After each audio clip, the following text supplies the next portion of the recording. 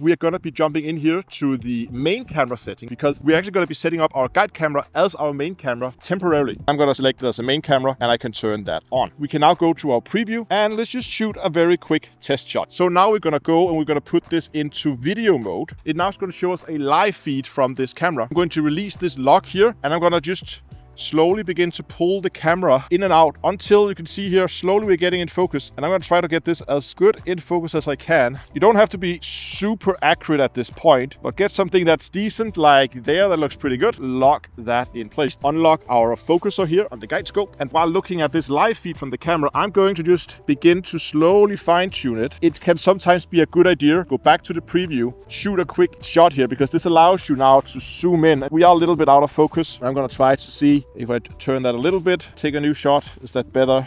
or worse. That's just basically the whole process right now is just to try and get this as much in focus as you can. This is just a starting point. We're just gonna get like the first initial focus in now and then we're gonna fine tune it during the night. But it's a good idea to do this during the day and then focus on something that's as far away as you can because it just means you have less adjustment you have to do when we go out and do this at night for the proper alignment, I should say.